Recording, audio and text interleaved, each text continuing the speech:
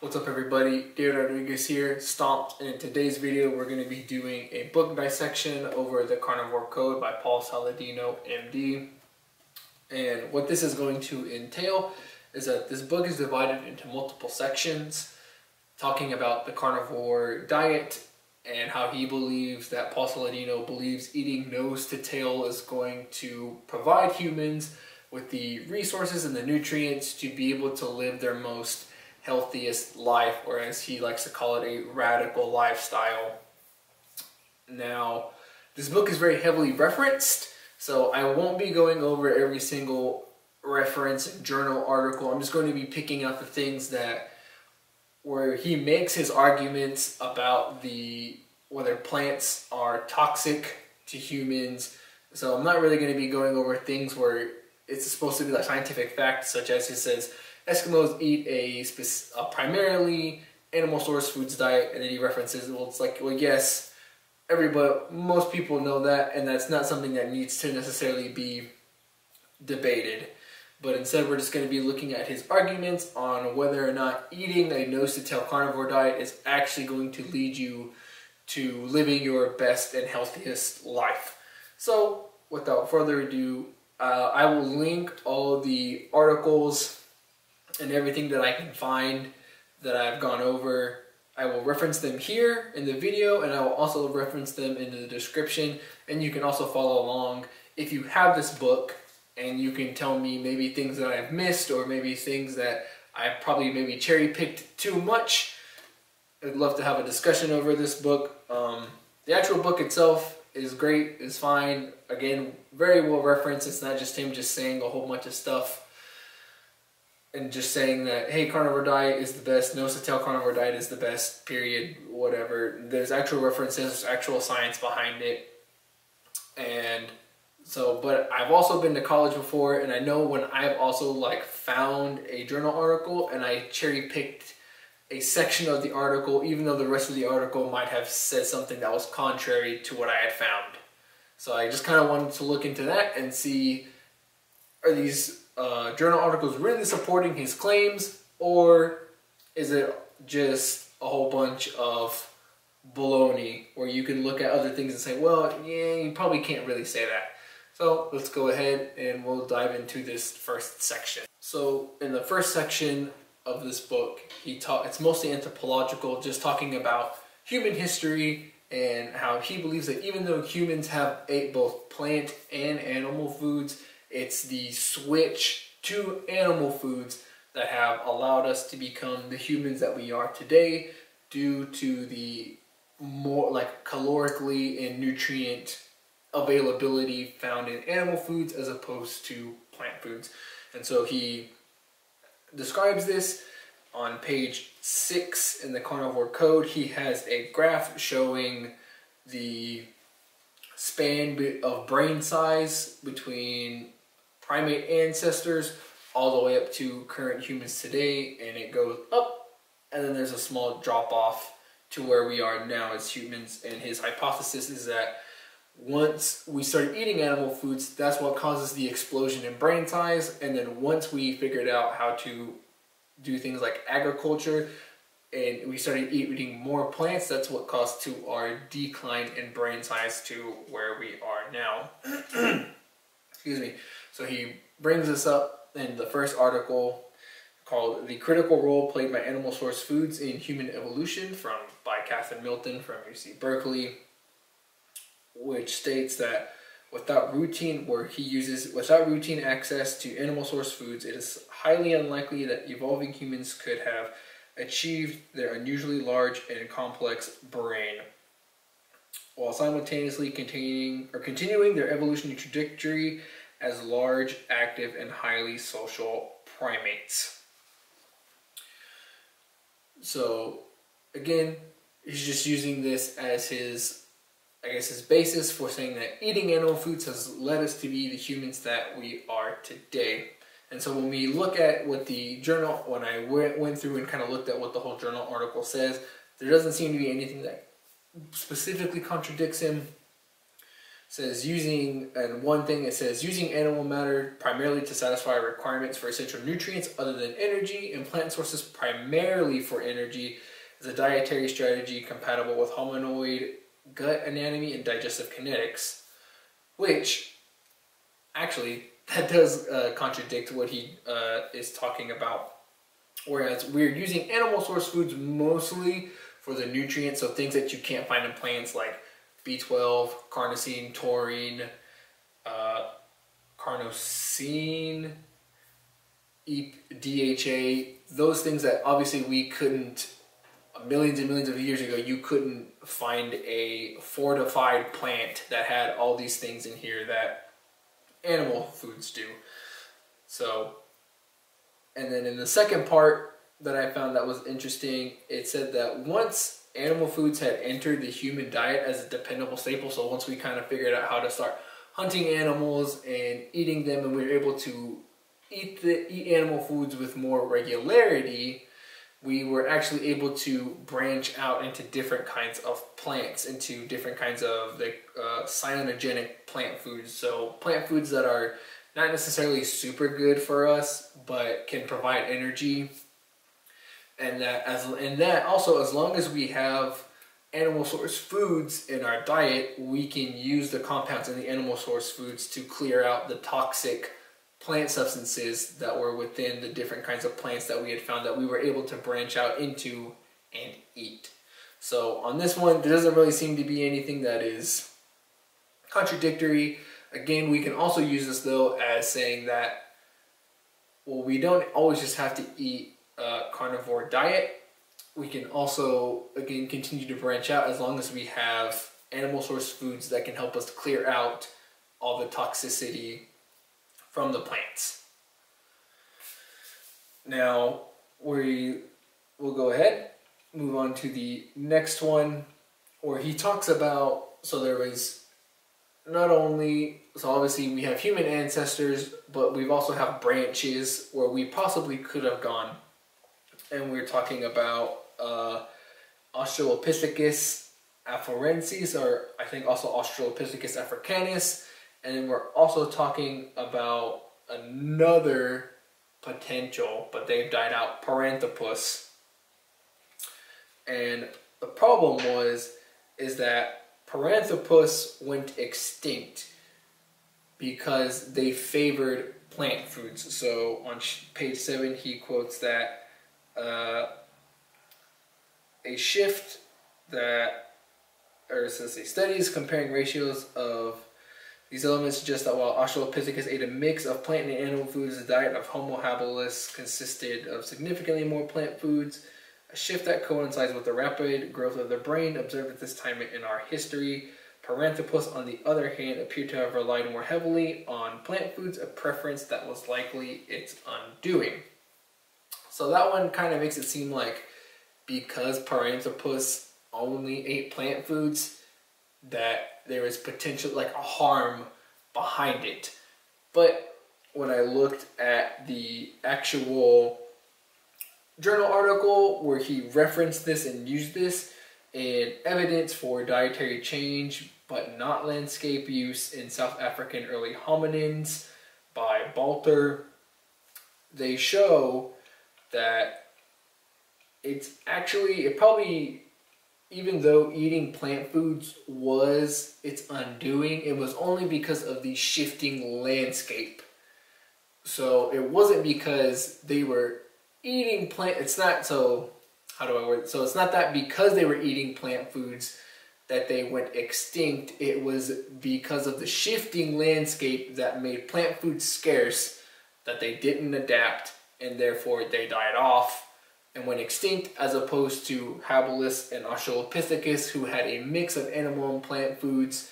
And once the shifting landscape happened there wasn't as many plant foods then they were able to turn their attention to animal foods and that allowed them to continue to live while Paranthropus couldn't make the adaptation and went extinct. So it wasn't necessarily because they only ate plant foods that they went extinct because if that was the case, then any vegetarian or any vegetarian animal who's primarily only herbivorous then probably also wouldn't exist. But it's not because they were eating plants. It's just because of the shifting landscape that caused them to have to force them to adapt. They didn't adapt and they died. The next thing we're going to talk about is called the expensive tissue hypothesis. So if you notice that in all of our cousins, so chimpanzees, gorillas, all the apes for the most part, and going back in time for our own human ancestors, you will notice that like a lot of them have enlarged guts and smaller brains. The thing is, is that both the whole entire digestive system and the brain and the nervous system require massive amounts of calories in order to function properly. Which is why gorillas need to be eating almost like this isn't an actual scientific fact that I know of, but they eat well almost like over half their body weight in food. And humans can't really do that. If humans do that, we would kind of like throw up vomit and die, probably. And so, with humans, on the contrary, we have larger brains and smaller, flatter rib cages. We also have tinier stomachs and tiny, and a tinier digestive system in comparison to our cousins. And so, what? So why is that?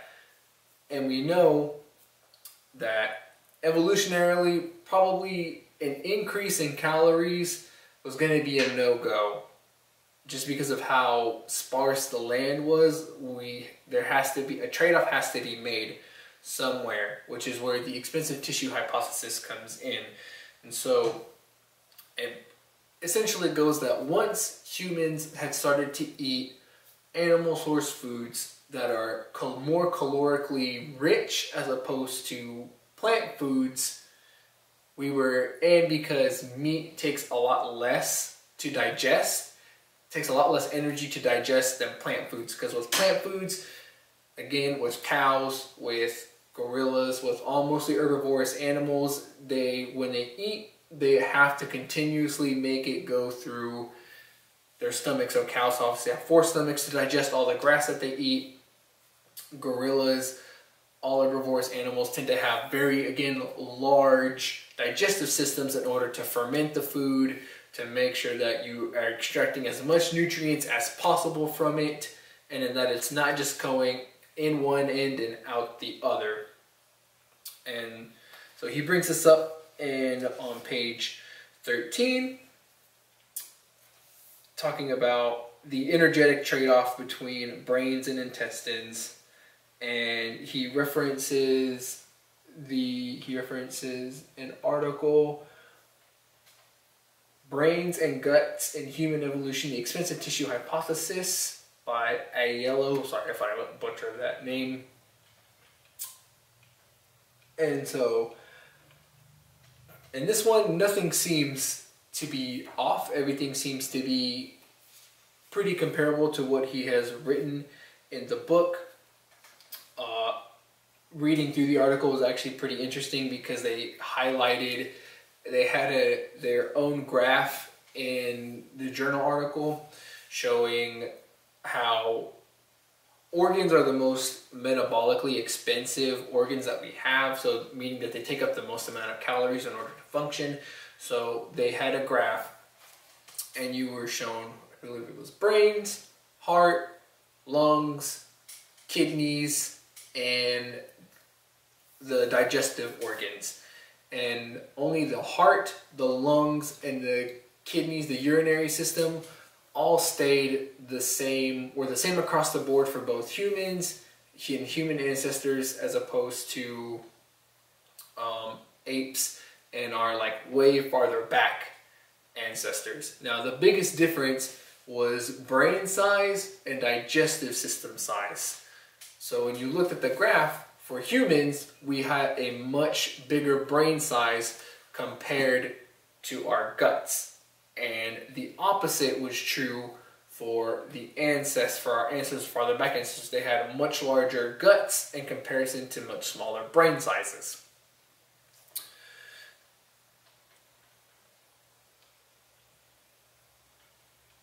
And so he even talks about like the combined mass of the metabolically expensive tissue, so organs, things like that, for a human adult is very close to an average primate for human body size. And that every again, so like I just said, everything was about the same as far as kidneys, heart, lungs, all that stayed the same. The biggest difference was between brain and brain and digestive system. So the smaller di- the digestive system allowed for a bigger brain because we were able to eat more calorically dense animal sourced foods. It appears to be the hypothesis, or it appears to be what seems to work out and make sense. Now, on page 14, we talk, so again, we talk about, so this ties into the metabolic, or the expensive tissue hypothesis, because it's also believed that not only or it wasn't maybe it wasn't plant food or not sorry not plant foods maybe it wasn't animal foods that allowed us to eat uh, be uh, have a food source that was so calorically dense.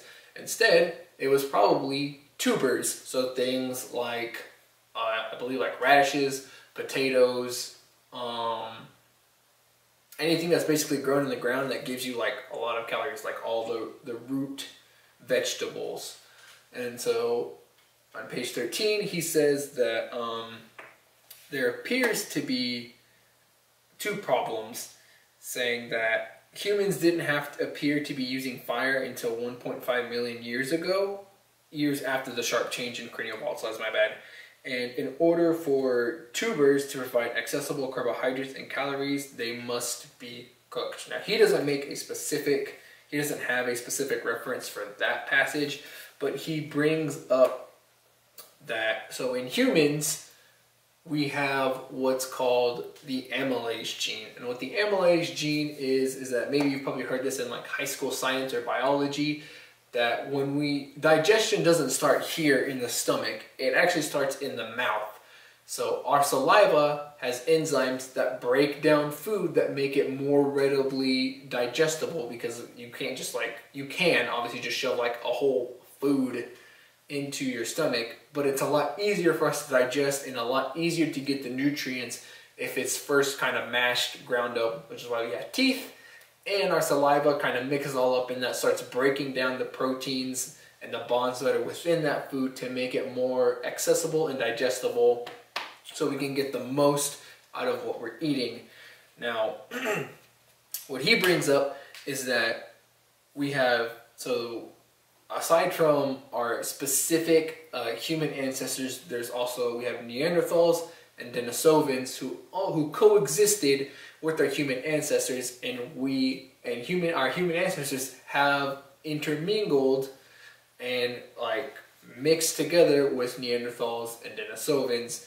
And if you don't believe me, it's true because in Europe, like point instead of so typically I believe it's like we almost have like 0.0 like 1% of Neanderthal DNA in all humans across the board. But in Europe, it's almost like there are 0.1% of Neanderthals. So that's a huge increase. So it shows that Neanderthals, Denisovans, and our specific human ancestors have all probably intermingled at one point. And so he likes to bring up that Neanderthals and Denisovans did not possess the same amylase gene duplications like our Homo, Homo sapien ancestors did. And so he is using this that he says, quote, um, we also don't know exactly when the amylase gene duplication phenomenon occurred in our history, but the fact that Neanderthals nor Denisovans possessed these duplications strongly suggests that up until at least 600,000 years ago, our ancestors were probably not eating many starchy foods. If they had been, we would likely have observed this gene duplication earlier in human history. And so he brings up insights. So the journal article he references for this is Insights into Hominin Phenotypic and Dietary Evolution from Ancient DNA Sequence Data by Perry G. H. and so the article says is that so even though he is not necessarily um, wrong about calories not being as accessible if they're not cooked. The problem becomes is that it's not that they weren't eating. So he says uh, he he covers his tracks. Says probably not eating, but we can't make that assumption because just because they don't have the gene for it, they probably could have been eating these starchy foods. They just didn't have the amylase gene for it, and so they probably would have gotten a reduced amount of calories that would have been significant for them. So it wasn't that they, the Denisovans and Neanderthals weren't at all eating tubers. They probably, the the thing is, you can't say whether they were or they weren't. Because if they were eating it, they just weren't getting as much benefit out of it as if you did have the amylase gene like our Homo sapien ancestors did.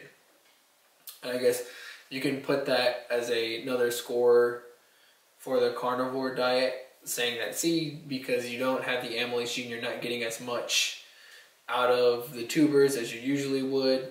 But I think the way that he's phrased it and saying that they probably weren't, as opposed to just trying to like sweep plant eating underneath the rug, is a little bit disingenuous. And I think that it is, again, we can't say for sure that they weren't eating. He says probably not. Well, that's that statement is probably not true. Um, again, uh, so again, let me bring this up where it says we can only conclude. So this is from the journal article that he references. We can only conclude that if early hominins were consuming large quantity of starchy foods as hypothesized, then they were likely doing so without the digestive benefits of increased salivary amylase production. So again, this is in the own article that he referenced, saying that they didn't. So he was right in saying that they didn't have the gene, but I believe he's wrong in saying that they probably weren't eating these foods.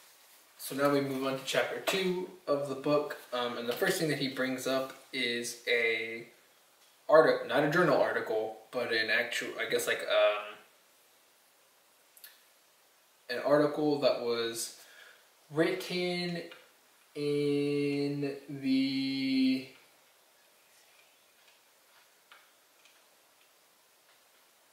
it was written by Discover magazine by Jared Diamond named The Worst Mistake in the History of the Human Race.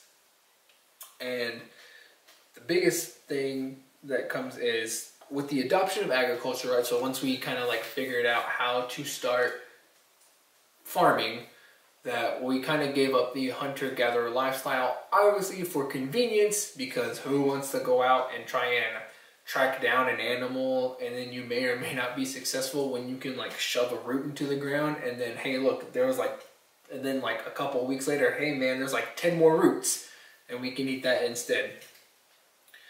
So um uh the, the article uh, hypothesizes, or not hypothesizes, but presents that in many ways that agriculture was a catastrophe leading to social, sexual inequality, disease, despotism that currently plague our existence now. And um, within the article itself that he wrote, Jared Diamond discusses that prior to agriculture, right, everybody was kind of in the same boat that we're all hungry and so we all need to band together to be close and try and hunt down this animal whichever way. But then once farming comes into play, now people who have their own sections of land who happen to be the most fertile parts of land can now say, hey, this is my land and you can work for me to help and I'll give you a little bit or like they can kind of section off their own area and now they have all the food and then while their compatriots don't have any food and they kind of have to go out and hunt or whatever leading and again so they use this to kind of lead this into indentured like servants or a servant kind of like a feudalism type thing where because this guy was was lucky enough to have the fertile part of the area that now he can control it as he pleases he can distribute food if he wants to, or he can just keep it to himself and make everybody else have to starve or whatever. Same thing. Talking about sexual inequality that in some in different cultures, I believe, which culture did he say that it was?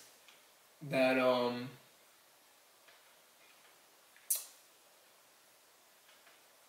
That in New Guinea, granted, this article was written uh, about 20, 30 years ago. In New Guinea, he talks about how women were the one who had to stagger under loads of vegetables and firewood while men walked in empty-handed and made them do all the heavy lifting while they themselves did nothing. So nothing in the article and within what he wrote seems to contradict that. Um, you can even say that even today, with all the government um, I guess not the government subsidies to the corn industry, how corn syrup is placed in everything. Um, that something similar kind of holds true to today. And now, the most interesting thing though that I thought was um, height differences. And so he brings this up on page 23 of the Carnivore Code, talking about uh, the article. The article that he references is Major Correlates of Male Height, a study of 105 countries by Grasgruber in 2016. And in taller nations, the consumption of plant proteins markedly decrease at the expense of animal proteins, especially those from dairy, and the highest consumption rates can be found in northern and central Europe, with the global peak of male height in the Netherlands at 184 centimeters. And talking about how skeletons from Greece and Turkey, uh, so this is from the book, skeletons from Greece and Turkey reveal that 12,000 years ago, the average height of hunter-gatherers was 5 feet 9 inches for men and 5 feet and 5 foot 5 for women, and the adoption of agriculture adult height plummeted and this is also referenced in that earlier Discover magazine article talking about how we, with the adoption of agriculture, we have traded quantity for quality. So animal foods, animal source foods being the more quality source foods and plant foods just being the more quantity. We can just shove, again, right? You can shove one potato into the ground and get continue to get multiple potatoes over the course of weeks, months, so on and so forth.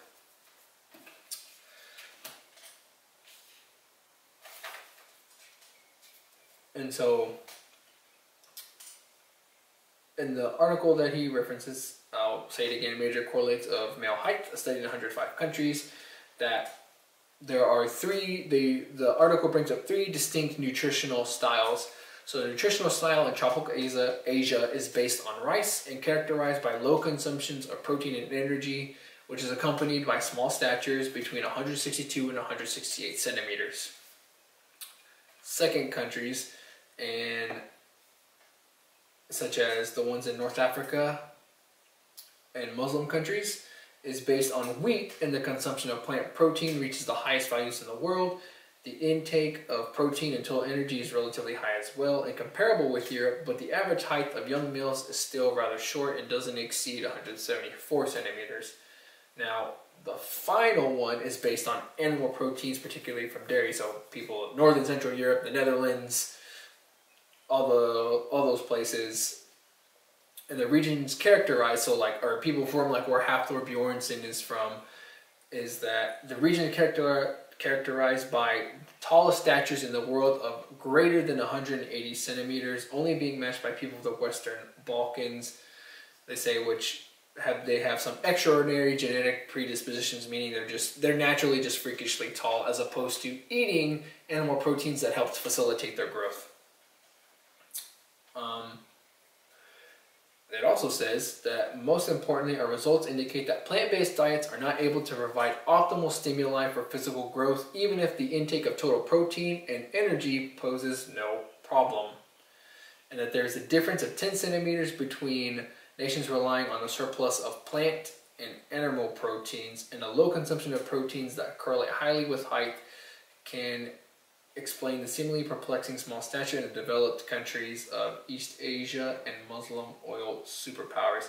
So it seems that even if you can eat as many plants, at least this article, this journal article is saying that even if you can eat as many plants as you want, it's still not going to be, again, it becomes a quality versus quantity matchup. And then even apparently with equal intakes of, so if you had an equal intake of plant proteins and plant nutrition and diet, it's still not going to rival. And so if you had an equal amount of animal sourced proteins and foods, it seems that the animal protein sources and foods will lead to increased height and overall better physical development for younger uh, humans. So that concludes the first section of the carnivore code dissection for chapters 1 and 2.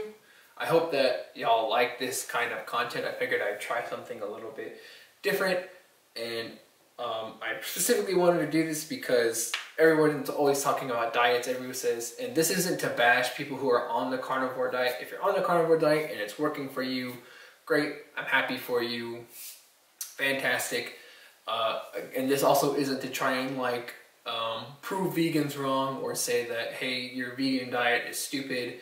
Again, this is mostly for my own uh, scientific curiosity and just looking at the different diets, seeing what seems, and again, so like if a vegan diet's working for you, great, fine, I don't care, good luck with that. Again, any diet, keto diet, whatever diet, except the Western diet. If you're eating a typical Western diet, well, you need to change that right now because that ain't working and that isn't going to help you with anything.